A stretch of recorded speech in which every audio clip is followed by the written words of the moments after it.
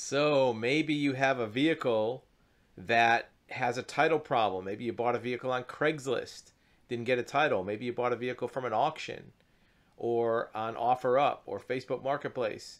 Or maybe you got a title and you lost it before you put it in your name. How do you fix that problem?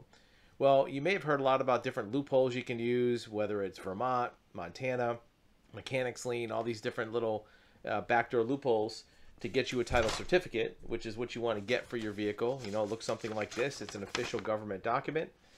And the important thing is making sure that what you do is, first of all, legal and correct, and it's not going to create any problems for you. Before you start looking at loopholes or going out of state, realize that every state has a process to solve title problems. As long as you have a legitimate vehicle, it's not stolen, no liens, not a junk vehicle or salvage there's ways you can get a title. And I wouldn't consider this a loophole. It's the actual process. Most states you can do what's called a bonded title, where you get a surety bond for the vehicle, cost maybe a hundred bucks, a couple hundred bucks for some more expensive vehicles, and you file it and you get a title. In every state, you can also file for what's called a magistrate title or a court order title. Now, before you hear the word court and think that it's a big involved process, it's really not. It's not like a big court case like you see on TV with a jury and expert witnesses and all these type of hearings. It's an administrative process where the court steps in and helps override the runaround the DMV is giving you. Now, what you see on the screen is an example of that from Montgomery County, Ohio. And the reason I'm showing you this is because most counties and states don't have a packet. See where it says here? You receive this packet. There's three counties in the whole country that have a packet.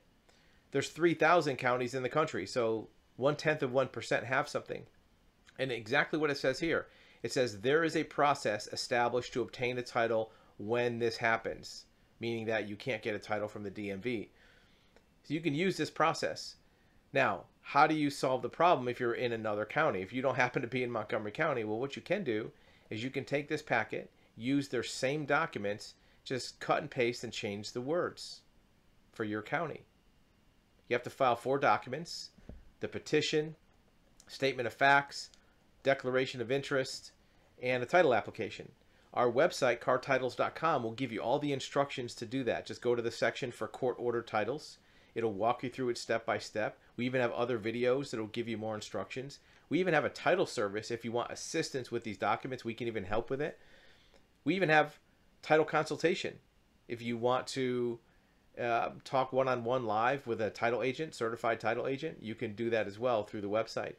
But keep in mind that you don't need to do any kind of really complicated out of state flipping backdoor loopholes to get a title. As long as you have a legitimate vehicle, if it's your vehicle, you deserve to have a title.